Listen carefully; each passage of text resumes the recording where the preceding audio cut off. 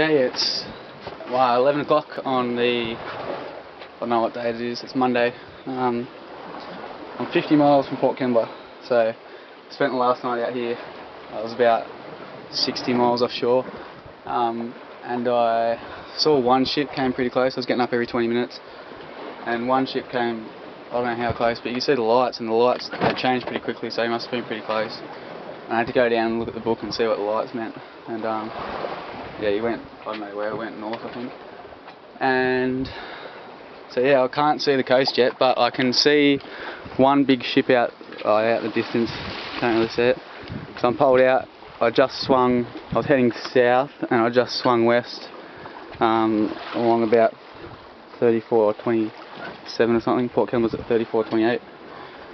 Um, yeah, 50 miles to go, and don't know. Hopefully, you should. You probably see land at about 20 miles or something like that. I reckon.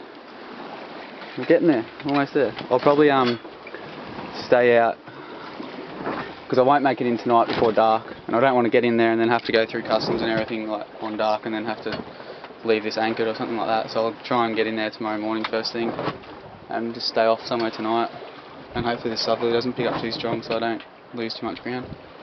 Yeah.